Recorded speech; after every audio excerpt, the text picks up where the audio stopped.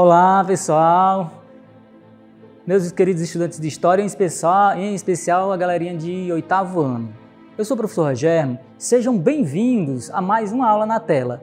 Hoje nós trouxemos aqui uma aula de oitavo ano que tem como tema as revoluções inglesas no, sé no século 17. Gente, essas revoluções, elas são super importantes que a gente compreenda a importância que elas têm para não só para a sociedade inglesa, mas para o mundo todo, certo? Então, a aula toda planejada, baseada nos, nos documentos aí da BNCC, certo? Com competências e habilidades. E aí nós vamos abordar os seguintes pontos. Vamos abordar aqui o que?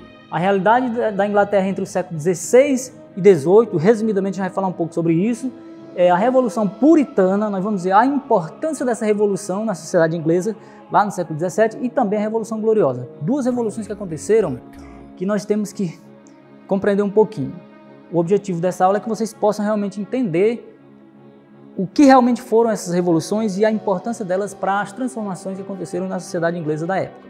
Gente, primeiro o que é revolução? Revolução a gente sabe que se, caracteriza como que qualquer manifestação ou movimento social civil de uma sociedade que causa como consequência uma mudança no sistema de vida da, da sociedade isso geralmente é considerado revolução.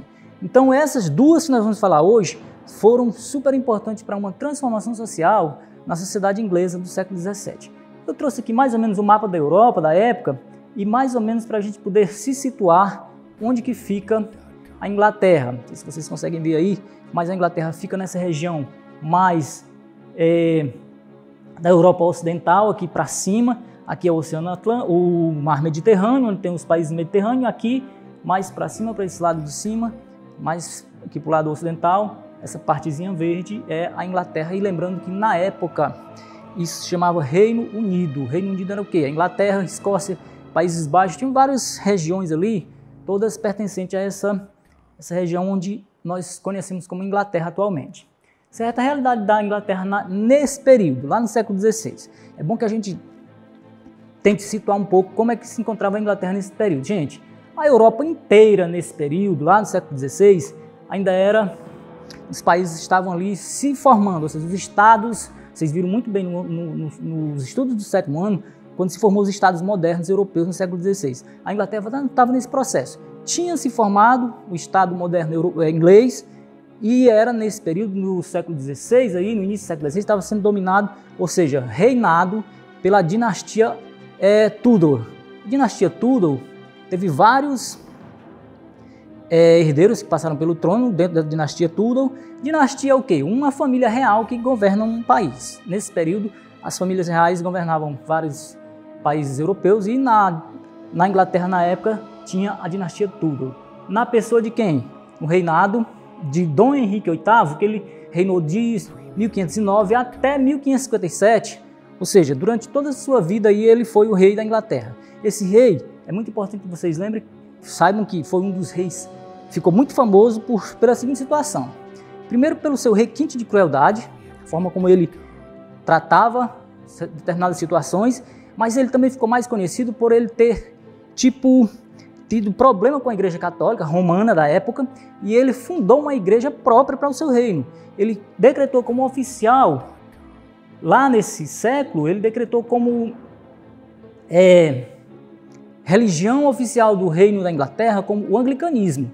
Era tipo assim, como se ele não se entendesse com a igreja católica, teve problemas, é na verdade, e aí ele não entendia que o Papa dava certo para estar tá interferindo no seu reino. Então ele preferiu é, abandonar o, o, cristianismo, a igreja católica ali, romana, e criou o anglicanismo, mas é uma linha também do cristianismo, não é uma coisa, é uma religião diferente não, certo?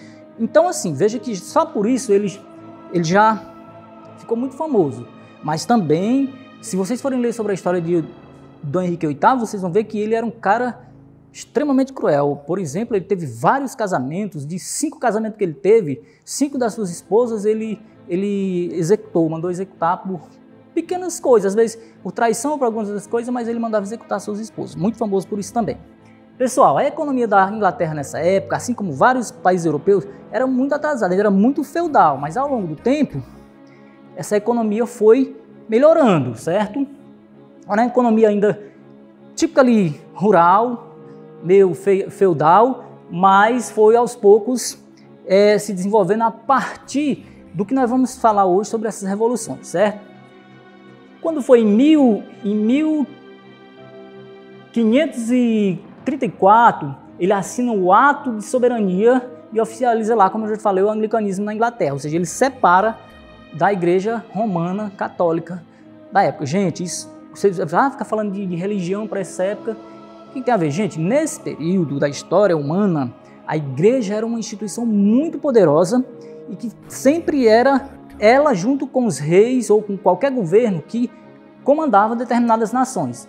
E aí você se você se colocar, se de, é, separar o seu reino, o seu governo da Igreja Católica era um você tinha que ser realmente um rei. É como se diz assim, o rei pode tudo. Então, Dom Henrique VIII fez isso, né?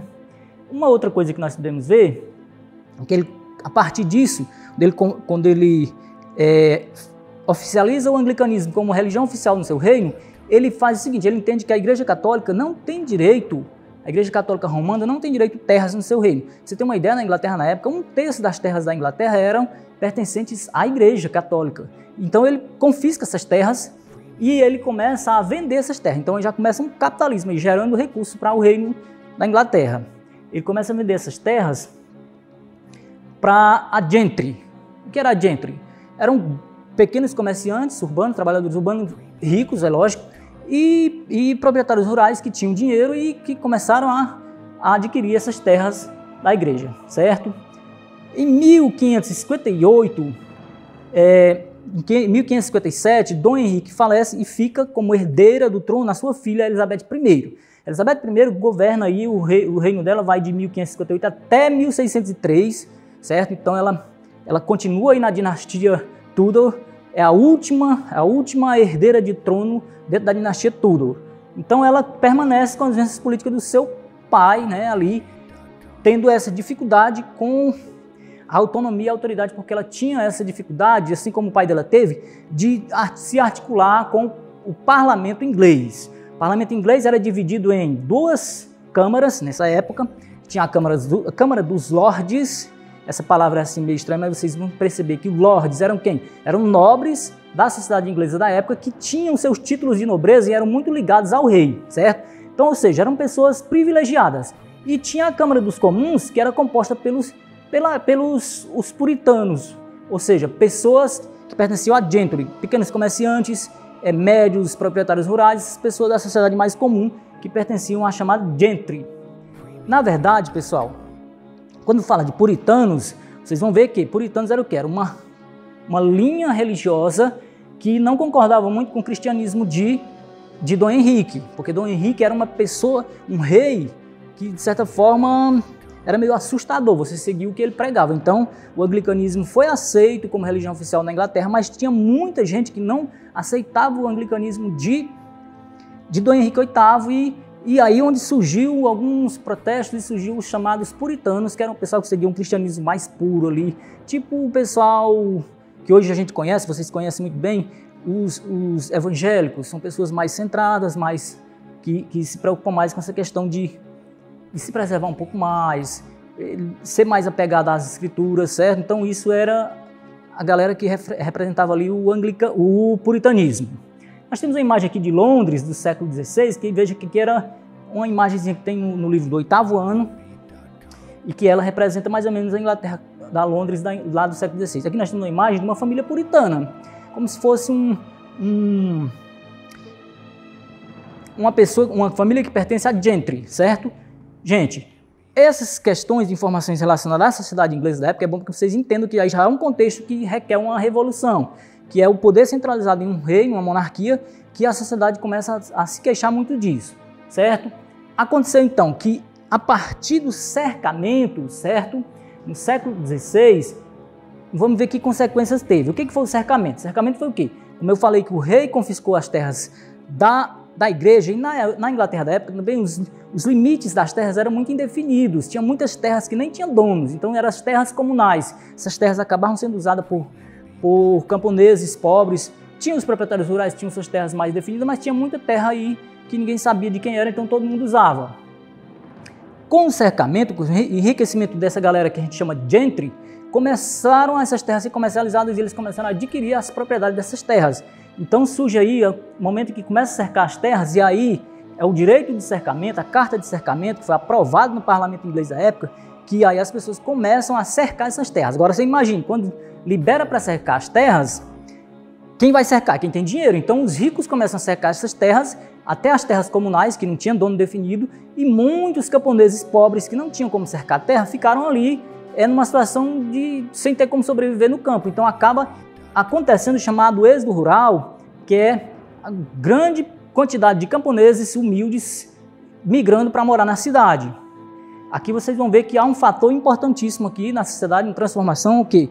Partir dos cercamentos, a sociedade tipicamente rural começa a se desfazer e fica o quê? Grandes propriedades produtoras de, de ovinos, de, de, de, de pecuária e agricultura, gera muita riqueza no campo, mas gera muita gente migrando para a cidade.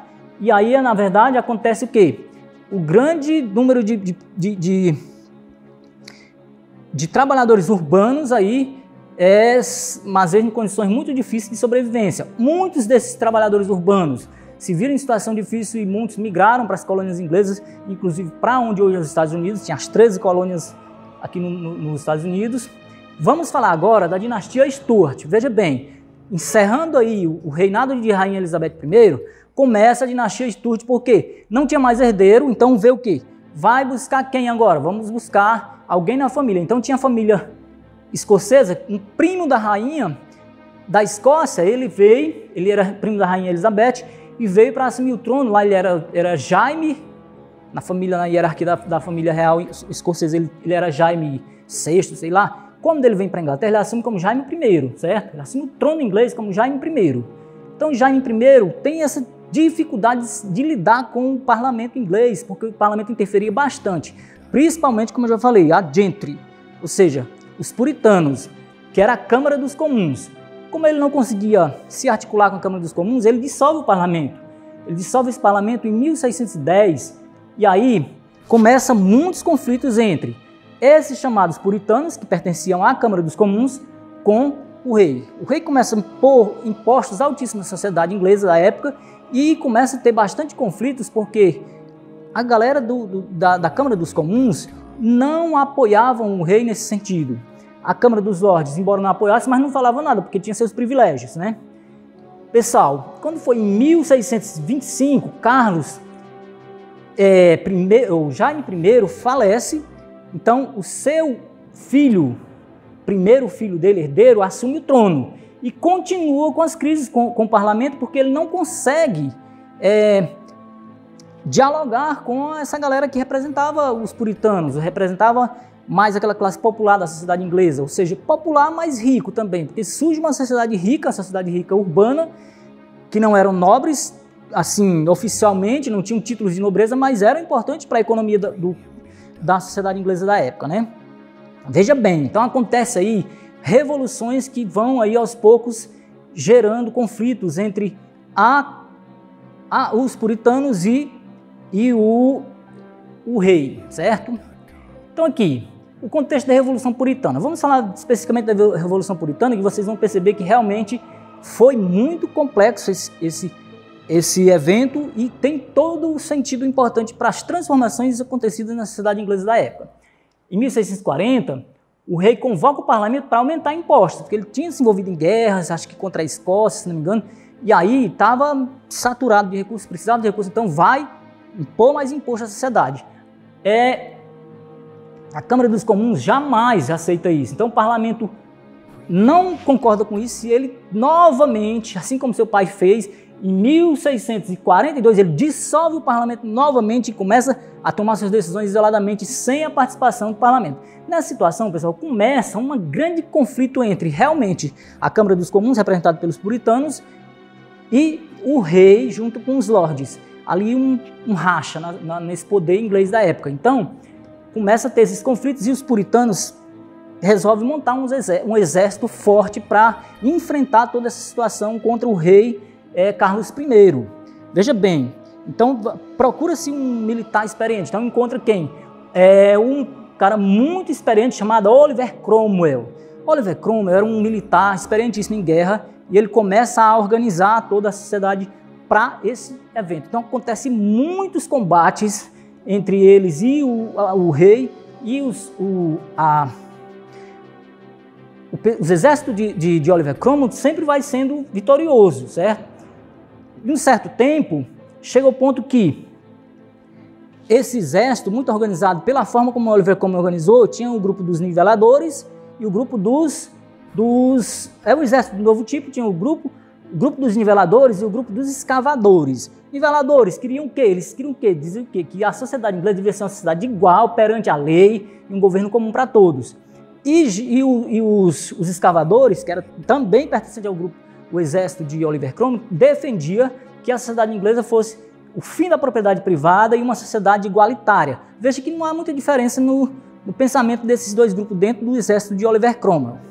Pessoal, Oliver Cromwell é, Nesse conflito, o rei, o, o, o, Carlos I começa a perder muita força, ele fica sem credibilidade, ele foge da Inglaterra para a Escócia pedindo reforço, ele trama ali uma forma de tentar recuperar o seu trono através de parceria junto com a Escócia, com os escoceses. Em acampamentos escoceses ali, ele demora um tempo para ser descoberto isso, mas o que acontece? Quando descobre, ele é tido como cometer um crime de, de traição à nação. Então, ele é capturado pelas tropas de Oliver Cromwell e é executado em, mil, em 1649. Ou seja, ele é decapitado por Oliver Cromwell. Veja bem, aqui foi a Revolução Puritana, toda essa revolta dos puritanos contra o, poder de, de, de, Carlos I e vinda no quê? Na execução de um rei. Imagine, pessoal, a sociedade nessa época, como era intensa essas lutas. Você imagina a sociedade um rei ser executado pela sociedade comum, organizado pelo, por alguém que pertence à Câmara dos Comuns. Né? Então Oliver Cromwell ele implanta uma república, a República de Oliver Cromwell, que governa de 1649 até 1658. Em 1600 e Nesse período, ele decreta, gente, o ato de navegações. Esse ato de navegações foi super importante para alavancar a economia da Inglaterra. Por quê?